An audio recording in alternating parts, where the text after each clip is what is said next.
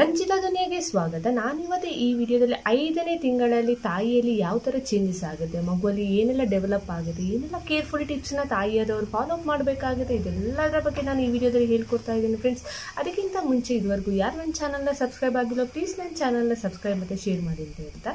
ಈ ತಿಂಗಳಲ್ಲಿ ನಾವು ಒಟ್ಟಾರೆ ಐದು ತಿಂಗಳಲ್ಲಿ ಏನೆಲ್ಲ ಚೇಂಜಸ್ ಆಗುತ್ತೆ, ಏನೆಲ್ಲ ಸ್ಕ್ಯಾನಿಂಗ್ಗಳನ್ನ ಮಾಡಬೇಕಾಗುತ್ತೆ, ಏನೆಲ್ಲ ಬ್ಲಡ್ ಟೆಸ್ಟ್ಗಳನ್ನ ಮಾಡಬೇಕಾಗುತ್ತೆ, ತಾಯಿಯಲ್ಲಿ ಯಾವ ಥರ ಚೇಂಜಸ್ ಆಗುತ್ತೆ, ಯಾವ ಥರ ನಮ್ಮ ಬಾಡಿ ವೇರಿಯೇಷನ್ ಆಗುತ್ತೆ ಇದೆಲ್ಲರ ಬಗ್ಗೆ ಹೇಳ್ಕೊಡ್ತಾ ಇದ್ದೀನಿ. ಫಸ್ಟ್ ಮಗುವಲ್ಲಿ ನಾವು ಕನ್ಸಿಡರ್ ಮಾಡೋದಾದ್ರೆ, ಮಗುವಿನ ಟೋಟಲ್ ಲೆಂತು ಹದಿಮೂರರಿಂದ ಹದಿನೈದು ಸೆಂಟಿಮೀಟರ್ವರೆಗೂ ಉದ್ದ ಬೆಳೆದಿರುತ್ತೆ. ಆಮೇಲೆ ಗ್ರಾಮ್ ವೈಸ್ ನೋಡಬೇಕು ಅಂತಂದರೆ ಇನ್ನೂರರಿಂದ ಇನ್ನೂರು ಐವತ್ತು ಗ್ರಾಮ್ವರೆಗೂ ತೂಕ ವೀಟಪ್ ಆಗಿರುತ್ತೆ ಫ್ರೆಂಡ್ಸ್ ಇದರಲ್ಲಿ ಮೇಯ್ನಾಗಿ ನಾವು ಈ ತಿಂಗಳಲ್ಲಿ ಅಬ್ಸರ್ವ್ ಮಾಡಬೇಕಾಗಿರೋದು ಬೇಬಿ ಮೂಮೆಂಟ್ ಫ್ರೆಂಡ್ಸ್ ನಿಮಗೆ ಯಾರಿಗೆ ಇವಾಗ ಕೆಲವರಲ್ಲಿ ನಾನು ಹೇಳಿದ್ದೀನಂದರೆ ಸೆಕೆಂಡ್ ಪ್ರೆಗ್ನೆನ್ಸಿ ಆಗಿದ್ದರೆ ಅವರಿಗೆ ಫೋರ್ ಮಂತಲ್ಲೇ ಮೂಮೆಂಟ್ಗಳು ಸ್ಟಾರ್ಟ್ ಆಗುತ್ತೆ. ಯಾರಿಗೆ ಫಸ್ಟ್ ಪ್ರೆಗ್ನೆನ್ಸಿ ಆಗಿರೋದು ನೋಡಿ ಅವರಿಗೆ ಐದನೇ ತಿಂಗಳಲ್ಲಿ ಮೂಮೆಂಟ್ಗಳು ಸ್ಟಾರ್ಟ್ ಆಗುತ್ತೆ especially eighteen to twenty week ಒಳಗಡೆ ಈ ಥರ ಮೂಮೆಂಟ್ಗಳು ಸ್ಟಾರ್ಟ್ ಆಗುತ್ತೆ. ಬಟ್ ಕೆಲವರಿಗೆ ಅಂದರೆ ನೈಂಟಿ ಪರ್ಸೆಂಟ್ ಮಹಿಳೆಯರಿಗೆ ಏಯ್ಟೀನ್ ಟು ಟ್ವೆಂಟಿ ವೀಕ್ ಒಳಗಡೆ ಮೂಮೆಂಟ್ ನಮಗೆ ಗೊತ್ತಾಗುತ್ತೆ. ಬಟರ್ಫ್ಲೈ ಆದಂಗೆ, ಏನು ನೀರು ಗುಳುಗುಳು ಸೌಂಡ್ ಆದಂಗೆ, ಆಮೇಲೆ ಹಸುವಾದಾಗ ನಮ್ಗೆ ಸೌಂಡ್ ಆಗುತ್ತೆ ನೋಡಿ. ಆ ಥರ ನಮ್ಮ ಹೊಟ್ಟೆಯಲ್ಲಿ ನಮಗೆ ಗೋಚರಿಸ್ಬೋದು. ಅದನ್ನ ನಾವು ಮೂಮೆಂಟಿಂದ ನೆನ್ತೀವಿ ಸ್ಟಾರ್ಟಿಂಗ್ ಮೂಮೆಂಟ್ ಅಂದರೆ ನಿಮಗೆ ಡೈರೆಕ್ಟಾಗಿ ಕಿಕ್ ಮಾಡೋದನ್ನ ಮೂಮೆಂಟಿಂದ ನಾವು ಕನ್ಸಿಡರ್ ಮಾಡಲ್ಲ. ಸ್ಟಾರ್ಟಿಂಗಲ್ಲಿ ಈ ಥರ ಲೈಟಾಗಿ ಸೂಜಿ ಸುತ್ತಂಗೆ ಸೌಂಡ್ ಆದಂಗೆ, ಆ ಥರ ಅದನ್ನ ನಾವು ಮೂಮೆಂಟಿಂದ ಕನ್ಸಿಡರ್ ಮಾಡ್ತೀವಿ. ಇದು ಎಲ್ಲ ನೈಂಟಿ ಪರ್ಸೆಂಟ್ ಮಹಿಳೆಯರಲ್ಲಿ ಹದಿನೆಂಟನೇ ವಾರದಿಂದ ಇಪ್ಪತ್ತನೇ ವಾರದೊಳಗಡೆ ಆಗುತ್ತೆ. ಬಟ್ ಕೆಲವರಿಗೆ ಟೆನ್ ಪರ್ಸೆಂಟ್ ಮಹಿಳೆಯರಲ್ಲಿ ಈ ಹದಿನೆಂಟರಿಂದ ಇಪ್ಪತ್ತನೇ ವಾರದವರೆಗೆ ನಮಗೆ ಏನು ಮೂಮೆಂಟ್ಗಳು ಗೋಚರಿಸೋದಿಲ್ಲ ಅಂತ ಹೇಳ್ತಾರೆ. ಇದು ಒಂಥರ ಕಾಮನ್ ಅಂತಲೇ ಹೇಳ್ಬೋದು. ಯಾಕೆಂದರೆ ಯಾರಿಗೆ ಫಸ್ಟ್ ಪ್ರೆಗ್ನೆನ್ಸಿ ಆಗಿದೆ ನೋಡಿ, ಅವರಿಗೆ ಮಸಲ್ ಟೈಟ್ ಆಗಿರೋದ್ರಿಂದ ಕೆಲವರಿಗೆ up to twenty four week ತನಕನೂ ಬೇಬಿ ಮೂಮೆಂಟ್ ಗೊತ್ತಾಗಿರಲ್ಲ ನಿಮಗೆ. ಸೊ ಒಂದು ವೇಳೆ ನೀವು ಮೂಮೆಂಟ್ ಆಗಿಲ್ಲ ಟೆನ್ಷನ್ ಮಾಡ್ಕೊಳ್ಳೋಗತ್ತೇ ಇಲ್ಲ ಟ್ವೆಂಟಿ ಫೋರ್ ವೀಕ್ ತನಕನೂ ವೆಯ್ಟ್ ಮಾಡಿ, ಒಂದು ವೇಳೆ ಟ್ವೆಂಟಿ ಫೋರ್ ವೀಕ್ವರೆಗೂ ನಿಮ್ಗೆ ಏನು ಮೂಮೆಂಟ್ ಗೊತ್ತಾಗ್ತಾ ಇಲ್ಲ ಅಂತಂದಾಗ, ಆವಾಗ ಒಂದ್ಸಲ ಡಾಕ್ಟರ್ನ ವಿಸಿಟ್ ಮಾಡೋದು ಒಳ್ಳೆಯದು ಬಟ್ ಯಾರಲ್ಲಿ ಸೆಕೆಂಡ್ ಪ್ರೆಗ್ನೆನ್ಸಿ ಆಗಿದೆ ನೋಡಿ, ಅವರಲ್ಲಿ ಮೂಮೆಂಟ್ ಕಾಣಿಸ್ತಾ ಇಲ್ಲ ಅಂತಂದರೆ ಇಮಿಡಿಯೇಟಾಗಿ ಡಾಕ್ಟರ್ನ ಭೇಟಿ ಮಾಡಿ ಸ್ಕ್ಯಾನಿಂಗ್ ಮಾಡಿಕೊಂಡ್ರೆ ನಿಮಗೆ ಕರೆಕ್ಟಾಗಿ ಇನ್ಫಾರ್ಮೇಷನ್ಗಳು ಸಿಗುತ್ತೆ. ಬಟ್ ಕೆಲವರಿಗೆ ಫ್ರೆಂಡ್ಸ್ ಇಲ್ಲಿ ತುಂಬ ಕಡಿಮೆ ಮೂಮೆಂಟ್ ಇರೋದ್ರಿಂದ ಅದು ತುಂಬ ಲೈಟಾಗಿ ಮೂಮೆಂಟ್ ಇರೋದ್ರಿಂದ ಕೆಲವೊಂದು ಮೂಮೆಂಟ್ ಆದ್ರೂ ಅದು ಗೋಚರಿಸಲ್ಲ. ಅವರು ಅದು ಮೂಮೆಂಟಿಂದ ಅವರು ಕನ್ಸಿಡರ್ ಮಾಡಲ್ಲ. ಆ ಥರ ಸಂಭವನೂ ಇರ್ಬೋದು. ಯಾಕಂದರೆ ಮಗುವಿನ ವೆಯ್ಟ್ ಮಗುವಿನ ಲೆಂತ್ ತುಂಬ ಕಡಿಮೆ ಇರೋದ್ರಿಂದ ನಮಗೆ ಮೂಮೆಂಟ್ಗಳು ಗೋಚರಿಸ್ತೇನೆ ಇರ್ಬೋದು. ಇದು ಐದನೇ ತಿಂಗಳಿ ಅಂದಿದೆ ಅಂತ ಹೇಳ್ಬೋದು ಫ್ರೆಂಡ್ಸ್ ನನ್ನ ಎಕ್ಸ್ಪೀರಿಯೆನ್ಸಲ್ಲಿ ನನಗೆ ಯಾವಾಗ ಬೇಬಿ ಮೂಮೆಂಟ್ಗಳು ಸ್ಟಾರ್ಟ್ ಆಯಿತು ಅಂತಂದರೆ ಎಕ್ಸಾಕ್ಟಾಗಿ ನೈನ್ಟೀನ್ ವೀಕಲ್ಲಿ ನನಗೆ ಬೇಬಿ ಮೂಮೆಂಟ್ಗಳು ಸ್ಟಾರ್ಟ್ ಆಗಿದೆ. ಎಕ್ ಎಕ್ಸ್ಪೆಷಲಿ ಎಲ್ಲಿ ಅಂತಂದರೆ ನಿಮ್ಮ ಲೆಫ್ಟ್ ಅಬ್ಡಾಮಿನಲ್ ಕೆಳಗಡೆ, ನೀವು ಲೆಫ್ಟ್ ಸೈಡಲ್ಲಿ ಮಲಗಿ, ಒಂದು ವೇಳೆ ಯಾರಿಗೆ ಮೂಮೆಂಟ್ಗಳು ಗೊತ್ತಾಗ್ತಾ ಇಲ್ಲ ಅಂತಂದಾಗ ಊಟ ಮಾಡಿದ ತಕ್ಷಣ ಅರ್ಧ ಗಂಟೆ ನೀವು ರೆಸ್ಟ್ ಮಾಡೋದ್ರಿಂದ ಈ ಮೂಮೆಂಟ್ಗಳು ಕರೆಕ್ಟಾಗಿ ಗೊತ್ತಾಗುತ್ತೆ. ಲೆಫ್ಟ್ ಸೈಡಲ್ಲಿ ಮಲಗಿ ಲೆಫ್ಟ್ ಸೈಡಲ್ಲಿ ಕೆಳಗಡೆ ಲೋವರ್ ಅಬ್ಡಾಮಿನಲ್ ನಿಮಗೆ ಲೈಟಾಗಿ ಮೂಮೆಂಟ್ಗಳು ಗೋಚರಿಸುತ್ತೆ. ಸೊ ಯಾರಿಗೆ ಈ ಥರ ಮೂಮೆಂಟ್ಗಳು ಗೊತ್ತಾಗದೇ ಇದ್ದರೆ ಅವರು ಈ ಥರನೂ ಟ್ರೈ ಮಾಡ್ಬೋದು ಎಸ್ಪೆಷಲಿ ಮೂಮೆಂಟ್ಗಳು ಬೆಳಿಗ್ಗೆ ಊಟ ಆದಮೇಲೆ, ಬೆಳಿಗ್ಗೆ ಮಧ್ಯಾಹ್ನ ಊಟ ಆದಮೇಲೆ, ರಾತ್ರಿ ಊಟ ಆದಮೇಲೆ, ತಿಂಡಿ ಆದಮೇಲೆ, ಈ ಥರಗಳೆಲ್ಲ ಮೂಮೆಂಟ್ಗಳು ಸ್ಟಾರ್ಟ್ ಆಗುತ್ತೆ. ನೀವು ತಿಂದ ತಕ್ಷಣ ಒಂಚೂರು ಲೈಟಾಗಿ ವಾಕ್ ಮಾಡಿ, ನೀವು ಹಾಫ್ ಆನ್ ಅವರ್ ಕಂಟಿನ್ಯೂಸ್ ಮಲ್ಗೋದ್ರಿಂದ ನಿಮಗೆ ಕರೆಕ್ಟಾಗಿ ಮೂಮೆಂಟ್ಗಳು ಗೊತ್ತಾಗ್ಬೋದು ಅಂತ ಹೇಳ್ಬೋದು. ಆಮೇಲೆ ಬೇರೆ ಬೇರೆ ಆರ್ಗನ್ಸ್ಗಳು ಮಗುವಲ್ಲಿ ಸ್ಟಾರ್ಟ್ ಆಗುತ್ತೆ ಅಂತಲೇ ಹೇಳ್ಬೋದು. ಸ್ಕಿನ್ ಡೆವಲಪ್ ಆಗುತ್ತೆ, ಆಮೇಲೆ ಸ್ಕಿನ್ನಲ್ಲಿ ಹೇರ್ ಸ್ಟಾರ್ಟ್ ಆಗುತ್ತೆ ಬ್ರೈನ್ ಡೆವಲಪ್ ಆಗುತ್ತೆ ನರ್ವಸ್ ಸಿಸ್ಟಮ್ ಇಂಪ್ರೂವ್ ಆಗುತ್ತೆ, ಆಮೇಲೆ ನಿಮಗೆ ಈ ಯೂರಿನ್ ಪ್ರೊಡಕ್ಷನ್ ಸ್ಟಾರ್ಟ್ ಆಗುತ್ತೆ, ಆಮೇಲೆ ಸೆಕ್ಸ್ ಆರ್ಗನ್ಸ್ಗಳೆಲ್ಲನೂ ಕ್ರಿಯೇಟ್ ಆಗುತ್ತೆ ಮಗು ಈ ತಿಂಗಳಲ್ಲಿ. ಕರೆಕ್ಟಾಗಿ ಗೋಚರಿಸುತ್ತೆ. ಇವಾಗ ಫಾರಿನ್ ಕಂಟ್ರೀಸಲ್ಲೆಲ್ಲ ಇವಾಗ ನಮಗೆ ಜೆಂಡರ್ ಜೆಂಡರ್ ಐಡೆಂಟಿಫಿಕೇಷನ್ ಮಾಡ್ತಾರೆ. ಅಲ್ಲಿ ಅಲಾವ್ ಇದೆ ಲಾ ಪ್ರಕಾರ. ಸೊ ಒಂದು ವೇಳೆ ಅವರು ಈ ಥರ ಜೆಂಡರ್ ಮೇಲ್ ಅವ್ರ ಫೀಮೇಲ್ ಅಂತ ಗೊತ್ತಾಗೋದು ಈ ಏಯ್ಟೀನ್ ವೀಕಲ್ಲಿ ಅಂತಲೇ ಹೇಳ್ಬೋದು. ಎಕ್ಸಾಕ್ಟಾಗಿ ನಿಮಗೆ ಅಕ್ಯುರೇಟ್ ರಿಸಲ್ಟ್ ನಿಮಗೆ ಸಿಗೋದು ಏಯ್ಟೀನ್ ವೀಕಲ್ಲೇ ಹೇಳ್ಬೋದು. ಬಟ್ ಇಂಡಿಯನ್ ಲಾ ಪ್ರಕಾರ ಆ ಥರ ನಾವು ರಿವೀಲ್ ಮಾಡದೇ ಇರೋದ್ರಿಂದ ಅದನ್ನ ನಾವು ಡಾಕ್ಟರಲ್ಲಿ ಕೇಳೋದು ಅಪರಾಧ ಆಗುತ್ತೆ. ನೆಕ್ಸ್ಟ್ ತಾಯಿಯಲ್ಲಿ ಯಾವ ಥರ ಚೇಂಜಸ್ ಆಗುತ್ತೆ ಅಂತ ನಾನು ವಿಡಿಯೋದಲ್ಲಿ ಹೇಳ್ತೀನಿ. ತಾಯಿಯಲ್ಲಿ ಮೇನ್ ಆಗಿ ನಿಮಗೆ ಕೆಲವು ಹೊಸ ಸಿಂಪ್ಟಮ್ಸ್ಗಳು ಆಡಬಹುದು ಫ್ರೆಂಡ್ಸ್ ಇಲ್ಲಿ. ಯಾರಿಗೆ ಫೈವ್ ಮಂತ್ ತನಕ ನಿಮಗೆ ಈ ಥರ ವಾಮಿಟಿಂಗ್ ನಾಶ ಇರೋದು ಅದೆಲ್ಲ ಕಂಟಿನ್ಯೂ ಆಗಿದೆ ಅಂತಂದರೆ ಅಂಥವ್ರಿಗೆ ಈ ಏನು ಸಿಂಟಮ್ಸ್ ಇದೆ, ಅದು ಈ ತಿಂಗಳಲ್ಲಿ ಆಲ್ಮೋಸ್ಟ್ ಕಡಿಮೆ ಆಗುತ್ತೆ ಅಂತಲೇ ಹೇಳ್ಬೋದು. ಕೆ ತುಂಬ ರೇರ್ ಸಿಚುವೇಷನ್ಗೆ ಕೆಲವರಲ್ಲಿ ಮಾತ್ರ ಸೆವೆನ್ ಮಂತ್ವರೆಗೂ ಈ ಥರ ವಾಮಿಟಿಂಗ್ ಕಂಟಿನ್ಯೂ ಆಗ್ಬೋದು. ಮತ್ತು ಇನ್ನು ಕೆಲವರಿಗೆ ಐದನೇ ತಿಂಗಳಲ್ಲಿ ಕಡಿಮೆ ಆಗುತ್ತೆ ಅಂತಲೇ ಹೇಳ್ಬೋದು. ನಿಮ್ಮ ಹೊಟ್ಟೆ ಸೈಜ್ ದೊಡ್ಡದಾಗೋದ್ರಿಂದ ಇಚ್ಚಿಂಗ್ ಪ್ರಾಬ್ಲಮ್ ಸ್ಟಾರ್ಟ್ ಆಗುತ್ತೆ ಫ್ರೆಂಡ್ಸ್ ನಾರ್ಮಲ್ ಆಗಿ ನಿಮಗೆ ಸ್ಕಿನ್ ಆರ್ ಮಸಲ್ ಎಂಡಾಜ್ ಆಗೋದ್ರಿಂದ ನಿಮ್ಗೆ ಈ ಥರ ಇಚ್ಚಿಂಗ್ ಪ್ರಾಬ್ಲಮ್ ಸ್ಟಾರ್ಟ್ ಆಗುತ್ತೆ. ಸೊ ಅದಕ್ಕಿಂತ ಮುಂಚೆ ನೀವು ಅದನ್ನ ಅವಾಯ್ಡ್ ಮಾಡೋದಕ್ಕೆ ನೀವು ಸ್ಕಿನ್ ಕೇರ್ ರುಟೀನ್ ಆಗಿರ್ಬೋದು ಅವ್ರ ಮಾಯಶ್ಚರೈಸರ್ ಆಗಿರ್ಬೋದು ಇದಂತಂದರೆ ಸ್ಟ್ರೆಚ್ ಕ್ರೀಮ್ಗಳು ಸಿಗುತ್ತೆ. ಇದೆಲ್ಲನೂ ಯೂಸ್ ಮಾಡ್ಕೊಂಡು ಆಲ್ಮೋಸ್ಟ್ ಕಡಿಮೆ ಆಗ್ಬೋದು. ಬಟ್ ಕೆಲವರಿಗೆ ತುಂಬ ರೇರ್ ಸಿಚುವೇಶನ್ಸಲ್ಲಿ ಈ ಇಚ್ಚಿಂಗ್ ಪ್ರಾಬ್ಲಮ್ ಕಂಟಿನ್ಯೂ ಆಗ್ಬೋದು.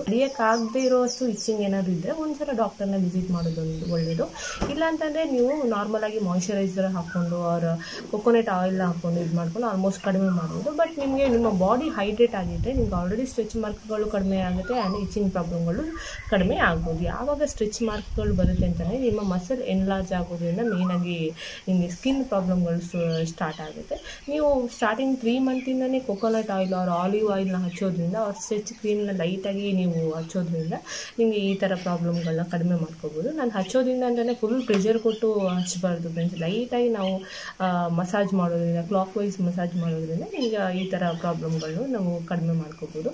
ಇನ್ನೊಂದು ಮೇಯ್ನಾಗಿ ನಿಮಗೆ ಕಾನ್ಸ್ಟಿಪೇಷನ್ ನಾನು ಆಲ್ರೆಡಿ ಹೇಳ್ದಂಗೆ ಎಲ್ರಿಗೂ ಕಾನ್ಸ್ಟಿಪೇಷನ್ ಪ್ರಾಬ್ಲಮ್ ಬಂದೇ ಬರುತ್ತೆ. ಯಾಕೆಂತಂದರೆ ಡೈಜೆಷನ್ ಒಂಚೂರು ಸ್ಲೋ ಆಗೋದ್ರಿಂದ ಬಿಕಾಸ್ ಆಫ್ ಪ್ರೊಜೆಸ್ಟ್ರಾನ್ ಹಾರ್ಮೋನಿಂದ ನಿಮ್ಮ ಡೈಜೆಷನ್ ಸಿಸ್ಟಮ್ ಕಡಿಮೆ ವರ್ಕ್ ಮಾಡೋದು ಕಡಿಮೆ ಆಗುತ್ತೆ. ಅದಕ್ಕೆ ನಿಮಗೆ ಕಾನ್ಸ್ಟಿಪೇಷನ್ ಬರುತ್ತೆ? ನೀರು ಡೈಲಿ ಕುಡಿಬೇಕಾಗುತ್ತೆ. ಬಾಡಿ ಹೈಡ್ರೇಟ್ ಆಗಿರಬೇಕು. ಮೇಯ್ನಾಗಿ ನಾಲ್ಕರಿಂದ ಐದು ಲೀಟರ್ ನೀರನ್ನ ಕುಡಿಲೇಬೇಕಾಗುತ್ತೆ. ಫೈಬರ್ ಕಂಟೆಂಟ್ ಫುಡ್ಡನ್ನು ಜಾಸ್ತಿ ತೊಗೊಂಡ್ರೆ ಮೇಯ್ನಾಗಿ ಕಡಿಮೆ ಮಾಡ್ಕೋಬೋದು. ಇನ್ನೊಂದು ಮೇಯ್ನಾಗಿ ಈ ತಿಂಗಳಲ್ಲಿ ಬರೋದು ಲೆಗ್ ಪೇನ್ ಫ್ರೆಂಡ್ಸ್ ಅವ್ರ ಸ್ವೆಲ್ಲಿಂಗ್ ಅಂತಲೇ ಹೇಳ್ಬೋದು. ಯಾಕಂದರೆ ನಮ್ಮ ಯೂಟ್ರಸ್ ಎನ್ಲಾರ್ಜ್ ಆಗೋದ್ರಿಂದ, ಅವ್ರ ಬೇಬಿ ಸೈಜ್ ದೊಡ್ಡದಾಗೋದ್ರಿಂದ ನಿಮಗೆ ಈ ಥರ ಪ್ರಾಬ್ಲಮ್ಗಳು ಫೇಸ್ ಆಗ್ಬೋದು ಅಂತಲೇ ಹೇಳ್ಬೋದು ಫ್ರೆಂಡ್ಸ್ ಇದರಲ್ಲಿ. ಮೇಯ್ನಾಗಿ ನಿಮಗೆ ನೀವು ಕೂತ್ಕೋಬೇಕಾದ್ರೆ, ಅವ್ರು ನಿಂತ್ಕೋಬೇಕಾದ್ರೆ, ಒಂದೇ ಪೊಸಿಷನಲ್ಲಿ ನೀವು ಒನ್ ಅವರ್ ಟೂ ಅವರ್ ಕೂತ್ಕೊಂಡ್ರೆ ಈ ಥರ ಸ್ವೆಲ್ಲಿಂಗ್ ಅವ್ರ ಪೇನ್ಗಳು ಸ್ಟಾರ್ಟ್ ಆಗುತ್ತೆ. ನಿಮಗೆ ಬ್ಲಡ್ ಸರ್ಕ್ಯುಲೇಷನ್ ಆಗಲೇಬೇಕಾಗುತ್ತೆ ಯಾರು ಆಫೀಸಲ್ಲಿ ವರ್ಕ್ ಮಾಡೋದಾದರೆ, ಅವ್ರು ಲಾಂಗ್ ಟೈಮಲ್ಲಿ ನಿಂತ್ಕೊಂಡಿದ್ರೆ, ಕೂತ್ಕೊಂಡಿದ್ರೆ ಅಂಥವರು ಈ ಥರ ಅವರ್ಲಿ ಒಂದ್ಸಲ ಈ ಥರ ಐದು ನಿಮಿಷ ವಾಕ್ ಮಾಡೋದ್ರಿಂದ ನಿಮಗೆ ಈ ಥರ ಕಾಲು ನೋವನ್ನು ಕಡಿಮೆ ಆಗ್ಬೋದು. ಇಲ್ಲಾಂದರೆ ಕೆಲವರಿಗೆ ವಿಟಮಿನ್ ಡಿ ಡಿಫಿಷಿಯನ್ಸಿ ಇದ್ರೂ ಈ ಥರ ಕಾಲು ನೋವಾಗುತ್ತೆ. ಒಂದ್ಸಲ ಬ್ಲಡ್ ಟೆಸ್ಟ್ ಮಾಡಿಕೊಂಡು ವಿಟಮಿನ್ ಡಿ ಡಿಫಿಷಿಯನ್ಸಿ ಇದೆಯಾ ಅಂತ ತಗೊಂಡು ಅದರಲ್ಲಿ ಸಪ್ಲಿಮೆಂಟ್ ಕೊಟ್ಟರು ಕೆಲವರಿಗೆ ಕಡಿಮೆ ಆಗುತ್ತೆ. ಇನ್ನು ಕೆಲವರಿಗೆ ಐದನೇ ತಿಂಗಳಿಗೆ ಸ್ವೆಲ್ಲಿಂಗ್ ಸ್ಟಾರ್ಟ್ ಆಗಲೂಬೋದು. ಯಾಕೆಂತಂದರೆ ಯೂಟ್ರಸ್ ಪ್ರೆಷರಿಂದ ನಮ್ಮ ಕಾಲಿನ ನರಗಳಿಗೆ ಪ್ರೆಷರ್ ಬೀಳೋದ್ರಿಂದ ನಿಮಗೆ ಸ್ವೆಲ್ಲಿಂಗ್ ಆಗುತ್ತೆ. ಆಲ್ಮೋಸ್ಟ್ ನೀವು ಕೊಕೊನಟ್ ಆಯಿಲ್ ಮಸಾಜ್ ಮಾಡಿಕೊಂಡು ಕಡಿಮೆ ಮಾಡ್ಕೋಬೋದು. ಇದು ತಾಯಿಯಲ್ಲಿ ಅಂತಲೇ ಹೇಳ್ಬೋದು. ನೆಕ್ಸ್ಟ್ ನಿಮಗೆ ಮೇಯ್ನಾಗಿ ನಾನು ಹೇಳಿದ್ನಲ್ಲ ಸ್ಕ್ಯಾನಿಂಗ್ ಇಂಪಾರ್ಟೆಂಟ್ ಇಪ್ಪತ್ತನೇ ವಾರದ ಒಳಗಡೆ ಈ ಸ್ಕ್ಯಾನಿಂಗ್ ಮಾಡುವಂಥದ್ದು. ನೈನ್ಟೀನ್ ವೀಕಲ್ಲಿ ಟ್ವೆಂಟಿ ವೀಕಲ್ಲಿ ನಾರ್ಮಲಾಗಿ ಕರೀತಾರೆ. ಈ ಸ್ಕ್ಯಾನ್ ಅನಮಲ್ಲಿ ಸ್ಕ್ಯಾನ್ ಅಂತ ಕರೀತಾರೆ. ಇಂಡಿವಿಜುವಲ್ ಆರ್ಗನ್ ವರ್ಕಿಂಗ್ ಹೆಂಗಿದೆ, ಯಾರು, ನಿಮ್ಮ ಬ್ಲಡ್ ಸಪ್ಲೈ ಹೆಂಗಿದೆ ಪ್ರೆಸೆಂಟಾಗಿಂದ ಬೇಬಿಗೆ ನಿಮ್ಮ ಬ್ಲಡ್ ಸಪ್ಲೈ ಹೆಂಗಿದೆ ಪ್ಲೆಸೆಂಟಾಗಿ ವರ್ಕ್ ಹೆಂಗಿದೆ, ಆಮೇಲೆ ನಿಮ್ಮ ಬೇಬಿ ಸೈಜ್ ಹೆಂಗಿದೆ, ಆಮೇಲೆ ಇದನ್ನೆಲ್ಲ ಕ್ಯಾಲ್ಕುಲೇಟ್ ಮಾಡೋದಕ್ಕೆ, ಇದನ್ನೆಲ್ಲ ಅಬ್ಸರ್ವ್ ಮಾಡೋದಕ್ಕೆ ಅನೋಮಲಿ ಸ್ಕ್ಯಾನ್ ತುಂಬಾ ಇಂಪಾರ್ಟೆಂಟ್ ಕೆಲವೊಂದು ಸಲ ನಿಮಗೆ ಡಿಫೆಕ್ಟ್ಗಳು ಕಾಣಿಸ್ಕೋಬೋದು ಫ್ರೆಂಡ್ಸ್ ಇದರಲ್ಲಿ. ನಿಮ್ಮ ತಲೆ ಬೇಬಿ ತಲೆಯಲ್ಲಿ ಏನಾದರೂ ನೀರು ಕೂತ್ಕೊಂಡಿದ್ರೆ, ಆವಾಗ ಅಂಥ ಸಿಚುವೇಶನ್ಸಲ್ಲೆಲ್ಲ ಅಬ್ನಾರ್ಮಲಿಟಿ ಅಂದರೆ ಒಂದೊಂದ್ಸಲ ಟರ್ಮಿನೇಟ್ ಮಾಡಲೂಬೇಕಾಗುತ್ತೆ ಇಂಡಿಯನ್ ಲಾ ಪ್ರಕಾರ ಟ್ವೆಂಟಿ ವೀಕ್ ಒಳಗಡೆ ಟರ್ಮಿನೇಟ್ ಮಾಡಿದ್ರೆ ಏನೂ ಅಫೆನ್ಸ್ ಅಲ್ಲ ಬಟ್ ಟ್ವೆಂಟಿ ವೀಕ್ ಆದಮೇಲೆ ಟರ್ಮಿನೇಟ್ ಮಾಡೋ ಹಂಗಿಲ್ಲ ನಮ್ಮ ಪ್ರಕಾರ. ಅದಕ್ಕೋಸ್ಕರನೇ ಡಾಕ್ಟರ್ಗಳು ಇಪ್ಪತ್ತನೇ ವಾರದ ಒಳಗಡೆನೆ ಈ ಸ್ಕ್ಯಾನ್ನ ಮಾಡುವಂಥದ್ದು. ತುಂಬ ಅರ್ಲಿಯಾಗಿಯೂ ಮಾಡಲ್ಲ, ಯಾಕೆಂದರೆ ಮಗುವಿನ ಸೈಜ್ ತುಂಬ ಚಿಕ್ಕದಾಗಿರೋದ್ರಿಂದ. ಕರೆಕ್ಟಾಗಿ ನಿಮಗೆ ಇಂಡಿವಿಜುವಲ್ ಆರ್ಗನ್ಸ್ಗಳು ಕಾಣಿಸ್ತಾ ಇರೋದ್ರಿಂದ ಎಕ್ಸಾಕ್ಟಾಗಿ ಏಯ್ಟೀನ್ ಟು ಟ್ವೆಂಟಿ ವೀಕ್ ಒಳಗಡೆ ಈ ಸ್ಕ್ಯಾನ್ನ ಮಾಡ್ತಾರೆ. ಐದು ತಿಂಗಳಾದಮೇಲೆ ನೀವು ಡಯಟ್ನ ಮೇಂಟೈನ್ ಆಗಬೇಕು. ಯಾಕೆಂದರೆ ತುಂಬ ರ್ಯಾಪಿಡಾಗಿ ನೀವು ವೆಯ್ಟ್ ಪುಟಪ್ ಆದರೆ ನಿಮಗೆ ಪ್ರಾಬ್ಲಮ್ ಆಗೋ ಚಾನ್ಸಸ್ ಇರುತ್ತೆ. ಬಿ ಪಿ ವೇರಿಯೇಷನ್ ಆಗೋ ಚಾನ್ಸಸ್ ಇರುತ್ತೆ. ಪ್ರೀ ಎಕ್ಲಾಂಶ ಪ್ರಾಬ್ಲಮ್ ಆಗೋ ಚಾನ್ಸಸ್ ಇರುತ್ತೆ. ಅದನ್ನ ಅವಾಯ್ಡ್ ಮಾಡೋದಕ್ಕೆ ನೀವು ಡಯಟ್ ಫುಡ್ನ ಮೇಂಟೈನ್ ಮಾಡಬೇಕು. ಪ್ರೋಟೀನ್ ರಿಚ್ ಇರೋ ಫುಡ್ನ ತಗೋಬೇಕು ಫ್ಯಾಟ್ ಕಂಟೆಂಟ್ ಇರೋದು, ಆಮೇಲೆ ಕಾರ್ಬೋಹೈಡ್ರೇಟ್ ಫುಡ್ಸ್ ಆಗಿರ್ಬೋದು ಫೈಬರ್ ಫುಡ್ಸ್ ಆಗಿರ್ಬೋದು ಫುಡ್ ಆಗಿರ್ಬೋದು, ಇದನ್ನೆಲ್ಲ ನಾವು ಜಾಸ್ತಿಯಾಗಿ ತೊಗೋಬೇಕು ಇಂಟೇಕ್ ತೊಗೋಬೇಕು. ಬಟ್ ಕ್ವಾಂಟಿಟಿ ತೊಗೋಬೇಕಾದ್ರೆ, ಯಾಕಂದರೆ ಡೈಜೆಷನ್ ಪ್ರಾಬ್ಲಮ್ ಇರೋದ್ರಿಂದ ಕಾನ್ಸ್ಟಿಪೇಷನ್ ಸಮಸ್ಯೆ ಬರೋದ್ರಿಂದ ಕ್ವಾಂಟಿಟಿ ವೈಸ್ ಸ್ವಲ್ಪ ಪ್ರಮಾಣದಲ್ಲಿ ತಿನ್ಕೊಂಡು ಹೋದರೆ ನಿಮ್ಮ ಬಾಡಿನೂ ಹೆಲ್ದಾಗಿರುತ್ತೆ ಗ್ರೈನ್ಸಲ್ಲಿ ಆಮೇಲೆ ವೆಜಿಟೇಬಲ್ಸಲ್ಲಿ ಫ್ರೂಟ್ಸಲ್ಲಿ ಆಗಿರ್ಬೋದು, ಆಮೇಲೆ ಗ್ರೀನ್ ಲೀವ್ಸಲ್ಲಿ ಆಗಿರ್ಬೋದು ಇಂಥದ್ರಲ್ಲಿ ನಿಮಗೆ ಎಲ್ಲ ಕಂಟೆಂಟ್ಗಳು ಹೇರಳವಾಗಿರುತ್ತೆ. ಅದನ್ನ ಜಾಸ್ತಿ ತೊಗೋಬೇಕಾಗುತ್ತೆ. ನಾನ್ ವೆಜ್ ಆಗಿರ್ಬೋದು, ಕೆಲವು ಅಂಶನ, ಆಮೇಲೆ ಮೊಟ್ಟೆಯಲ್ಲಾಗಿರ್ಬೋದು ಹೆವಿ ರಿಚ್ ಪ್ರೋಟೀನ್ ಇರೋದ್ರಿಂದ ಅದನ್ನ ನೀವು ಫುಡ್ನ ಡಯಟ್ ಪ್ಲ್ಯಾನ್ನ ನೀವು ಕರೆಕ್ಟಾಗಿ ಮೇಂಟೈನ್ ಮಾಡಿದ್ರೆ ನಿಮ್ಮ ವೆಯ್ಟು ಆರ್ ನಿಮ್ಮ ಪ್ರೆಗ್ನೆನ್ಸಿ ಜರ್ನಿನೂ ಸ್ಮೂತಾಗಿ ಹೋಗುತ್ತೆ. ನೆಕ್ಸ್ಟು ನಿಮ್ಗೆ ಮೇನು ಕೇರ್ಫುಲ್ ಟಿಪ್ಸ್ ಅಂತಂದರೆ ಹೈಡ್ರೇಷನ್ ತುಂಬಾ ಮುಖ್ಯ ಅಂತ ಹೇಳಿದ್ದೀನಿ. ಎಲ್ಲ ಇದರಲ್ಲೂ ಹೈಡ್ರೇಷನ್ ಕಾನ್ಸ್ಟಿಪೇಷನ್ಗಾಗಿರ್ಬೋದು ಆಮೇಲೆ ಕೆಲವು ಬಾಡಿ ಸ್ಕಿನ್ ಪ್ರಾಬ್ಲಮ್ ಆಗಿರ್ಬೋದು ಸ್ಕಿನ್ ಇಚ್ಚಿಂಗ್ ಪ್ರಾಬ್ಲಮ್ ಆಗಿರ್ಬೋದು, ಇದಕ್ಕೆಲ್ಲ ಹೈಡ್ರೇಷನ್ ತುಂಬಾ ಮುಖ್ಯ ಆಗುತ್ತೆ. ಆಮೇಲೆ ಅಮ್ನಾಟಿಕ್ ಫ್ಲೂಯ್ಡ್ ಇನ್ಕ್ರೀಸ್ ಆಗೋದಕ್ಕೆ ಈ ಥರ ಹೈಡ್ರೇಷನ್ ಮಾಡಲೇಬೇಕಾಗುತ್ತೆ. ಇಲ್ಲಾಂದರೆ ಅಮ್ನಾಟಿಕ್ ಫ್ಲೂಯಿಡ್ ಅಮ್ನಾಟಿಕ್ ಫ್ಲೂಯಿಡ್ ಅಂತಂದರೆ ಮಗುವಿನ ಸುತ್ತ ಇರೋ ನೀರು, ಇದು ಕಡಿಮೆ ಆದರೆ ಮಗುವಿಗೂ ತೊಂದರೆ ಆಗುತ್ತೆ. ಅದನ್ನ ಮೇಂಟೈನ್ ಮಾಡೋದಕ್ಕೆ ಈ ಥರ ನೀವು ಇಂಟೇಕ್ ಆರ್ ಲಿಕ್ವಿಡ್ ಇಂಟೇಕ್ನ ಜಾಸ್ತಿ ತೊಗೋಬೇಕಾಗುತ್ತೆ. ಲಿಕ್ವಿಡ್ ಅಂತಂದರೆ ನೀವು ನೀರೇ ಕುಡಿಬೇಕು ಅಂತ ಏನೂ ಇಲ್ಲ. ಫ್ರೂಟ್ ಜ್ಯೂಸ್ ಆಗಿರ್ಬೋದು, ಯಾವುದೇ ಲಿಕ್ವಿಡಿ ಆಗಿರುತ್ತೆ, ಅದನ್ನ ಜಾಸ್ತಿ ತೊಗೊಂಡ್ರೆ ನಿಮ್ಮ ಬಾಡಿ ಹೈಡ್ರೇಟ್ ಆಗುತ್ತೆ, ತುಂಬ ಪ್ರೆಗ್ನೆನ್ಸಿಗೆ ಹೆಲ್ಪ್ ಆಗುತ್ತೆ ಅನ್ಬೋದು. ನೆಕ್ಸ್ಟ್ ಎಕ್ಸಸೈಸ್ ಯಾರಿಗೆ ರಿಸ್ಕ್ ಇರುತ್ತೆ ಅವ್ರಿಗೆ ಎಕ್ಸಸೈಸ್ ಯಾರಿಗೆ ಬೇಡ ಅಂತ ಡಾಕ್ಟರ್ ಅಂದಿದ್ದಾರೆ ಅವರು ಅವಾಯ್ಡ್ ಮಾಡೋದು ಒಳ್ಳೆಯದು ಬಟ್ ಕೆಲವರಲ್ಲಿ ಎಕ್ಸಸೈಸ್ ಬೇಸಿಕ್ ಎಕ್ಸಸೈಸ್ ಕರೆಕ್ಟಾಗಿ ತಿಳ್ಕೊಂಡು ನೀವು ಎಕ್ಸಸೈಸ್ ಮಾಡೋದ್ರಿಂದ ಬ್ರೀದಿಂಗ್ ಎಕ್ಸಸೈಸ್ ಆಗಿರ್ಬೋದು ನಾರ್ಮಲ್ ಎಕ್ಸಸೈಸ್ ಆಗಿರ್ಬೋದು ಮಾಡೋದ್ರಿಂದ ಬೇಸಿಕ್ ಆಗಿ ಮಾಡೋದ್ರಿಂದ ನಿಮ್ಮ ಬಾಡಿ ಫುಲ್ ರಿಲ್ಯಾಕ್ಸ್ ಆಗಿ ನಿಮ್ಮ ಪ್ರೆಗ್ನೆನ್ಸಿ ಡೆಲಿವರಿಗೂ ಹೆಲ್ಪ್ ಆಗುತ್ತೆ ಅವ್ರ ನಾರ್ಮಲ್ ಡೆಲಿವರಿಗೂ ಹೆಲ್ಪ್ ಆಗುತ್ತೆ ಫ್ರೆಂಡ್ಸ್ ಇದ್ರಲ್ಲಿ ಜಂಕ್ಸ್ ಫುಡ್ನ ಅವಾಯ್ಡ್ ಮಾಡಿ. ಆಮೇಲೆ ಮೇಯ್ನಾಗಿ ಇವಾಗ ಐದು ಮಂತ್ನ ಸ್ಕ್ಯಾನಿಂಗ್ ನಾರ್ಮಲಿ ಸ್ಕ್ಯಾನಿಂಗಲ್ಲಿ ಸರ್ವಿಕ್ಸ್ನ ಚೆಕ್ ಮಾಡ್ತಾರೆ ಫ್ರೆಂಡ್ಸ್ ಸರ್ವಿಕ್ಸ್ ಅಂತಂದರೆ ಗರ್ಭಕೋಶದ ಬಾಯಿ ಅಂತ. ಕೆಲವರಲ್ಲಿ ಐದನೇ ತಿಂಗಳಲ್ಲಿ ಓಪನ್ ಆಗುತ್ತೆ ಇದು. ಸೊ ಈ ಥರ ಓಪನ್ ಆದರೆ ಪ್ರೀ ಮೆಚ್ಯೂರ್ ಆಗೋ ಚಾನ್ಸಸ್ ಇರುತ್ತೆ. ಒಂದು ವೇಳೆ ಈ ಥರ ಓಪನ್ ಆಗಿರೋದನ್ನ ಶಾರ್ಟ್ ಸರ್ವಿಕ್ಸ್ ಅಂತ ಅಂತೀವಿ. ಯಾರಲ್ಲಿ ಶಾರ್ಟ್ ಸರ್ವಿಕ್ಸ್ ಬಂದಿದೆ, ಅವ್ರಿಗೆ ಸ್ಟಿಚ್ ಹಾಕ್ಬೋದು. ಯಾರಿಗೆ ಸ್ಟಿಚ್ ಹಾಕಿದ್ದಾರೆ, ಅವರಿಗೆ ಕಂಪ್ಲೀಟ್ ಬೆಡ್ ರೆಸ್ಟ್ ಕೆಲವ್ರಿಗೆ ಹೇಳ್ತಾರೆ. ಅವ್ರು ಕೆಲವರಿಗೆ ಲೈಟಾಗಿ ಮನೆಯಲ್ಲೇ ಓಡಾಡೋದಕ್ಕೆ ಹೇಳ್ತಾರೆ. ಅದನ್ನೆಲ್ಲ ನೋಡಿಕೊಂಡು ನೀವು ಎಕ್ಸಸೈಸ್ ಮಾಡೋದು ಒಳ್ಳೆಯದು ಯಾರಿಗೆ ಶಾರ್ಟ್ ಸರ್ವಿಸ್ ಇದೆ ಅವರಿಗೆ ಎಕ್ಸಸೈಸ್ ಮಾಡೋದಕ್ಕೆ ಫುಲ್ ರಿಸ್ಟ್ರಿಕ್ಷನ್ ಮಾಡ್ತಾರೆ ಡಾಕ್ಟರು ಅಂಥವರು ಎಕ್ಸಸೈಸ್ ಆಗಿರ್ಬೋದು, ಈ ಥರ ಸ್ಟೆಪ್ ಇಳಿಯೋದು ಸ್ಟೆಪ್ ಹತ್ತೋದಾಗಿರ್ಬೋದು ಅದನ್ನೆಲ್ಲ ಅವಾಯ್ಡ್ ಮಾಡಬೇಕಾಗುತ್ತೆ. ಇದು ಐದನೇ ತಿಂಗಳ ಪ್ರೆಗ್ನೆನ್ಸಿ ಜರ್ನಿ ಫ್ರೆಂಡ್ಸ್ ನನ್ನ ಎಕ್ಸ್ಪೀರಿಯೆನ್ಸಲ್ಲಿ ನನಗೆ ಐದನೇ ತಿಂಗಳಲ್ಲಿ ಶಾರ್ಟ್ ಸರ್ವಿಸ್ ಆಗಿತ್ತು. ಶಾರ್ಟ್ ಸರ್ವಿಸ್ ಆಗಿರೋದು ನೆಕ್ಸ್ಟು ಟೂ ಪಾಯಿಂಟ್ ಫೈವ್ಗಿಂತ ಕಡಿಮೆ ಇದ್ದರೆ ಅದನ್ನ ಶಾರ್ಟ್ ಸರ್ವಿಸ್ ಅಂತ ಇದು ಮಾಡ್ತೀವಿ ನನ್ನದ್ರಲ್ಲಿ ಆಲ್ಮೋಸ್ಟ್ ಟೂ ಪಾಯಿಂಟ್ ಫೈ ಇತ್ತು.